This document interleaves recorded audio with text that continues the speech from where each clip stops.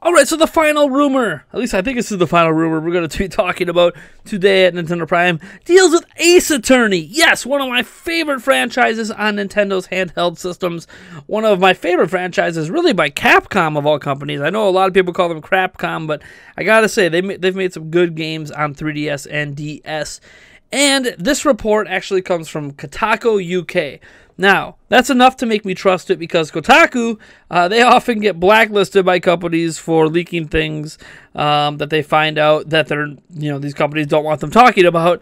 Uh, and on top of that, on top of Kotaku's history and getting blacklisted over the last few years uh, for leaking legit stuff, um, this report's by Laura Kate Dale, who also nailed, like, I don't know, it was something like 90% of her quote unquote switch rumors uh, last year heading into this year, uh, making me trust this even more because I'm sure these are her sources. Uh, so, someone who I already trust with leaks, on top of at an outlet that's not only a legit outlet, but a legit outlet that gets in trouble for leaking things. Uh, yeah, this is exciting stuff. Um, and I'm just going to read the, the article here. It's very short uh, and to the point. Uh, but it says, as part of the investor briefing, Capcom confirmed that it has plans to prepare more games for Nintendo Switch in 2018. This is this we know is true. We reported on this already. Uh, after admitting the company was caught off guard by the system's highly successful launch, one of the franchises mentioned with regards to these future plans is Ace Attorney. So the first time we've heard of that.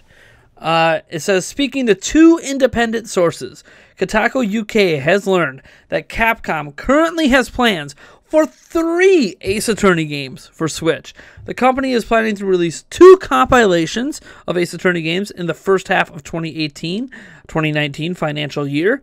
Uh, between April 2018 and October 2018 is the supposed planned date for those. And one of the one is a compilation of the first the first three Ace Attorney games. The other is compiling Ace Attorney games four through six in the series. This specific configuration does make a lot of sense because Capcom has previously re released the games on iOS, which they have them as games 1 through 3 and 4 through 6 in separate apps, updated for HD on a single touchscreen device. And 3DS, the first three being bundled as Phoenix Wright Ace Attorney Trilogy, which may have made these bundles something of a no brainer for the publisher. However, this is where it gets really exciting. Our sources indicate that this is leading up to something.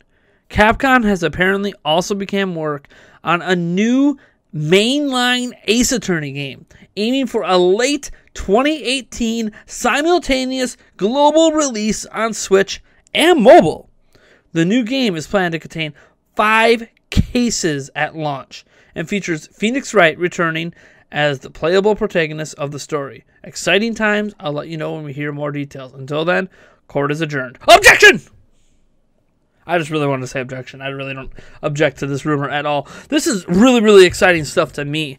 Um, I, I figured that after the Ace Attorney games released in two separate apps on phones, they were going to come to Switch. They're, it's an easy port job for them. They've already made it work on one touchscreen.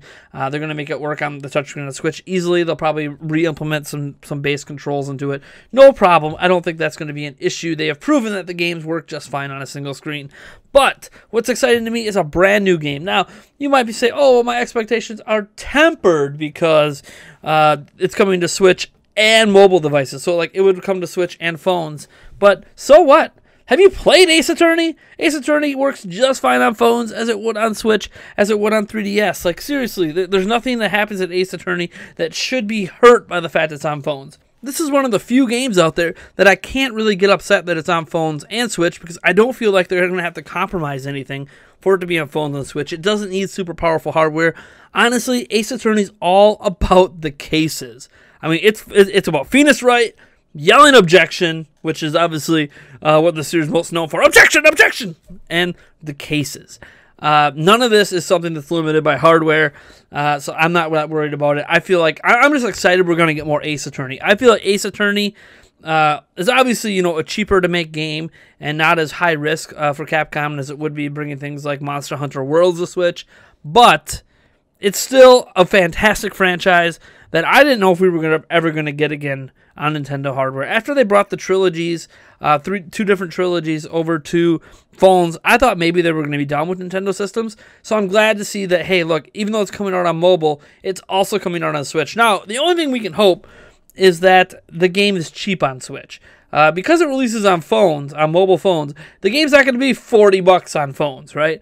Um, it'll probably be either microtransaction based, ad based, or uh, a single purchase. You know, for like three three bucks to five bucks, uh, which to me means the Switch version better be just as cheap and probably digital only.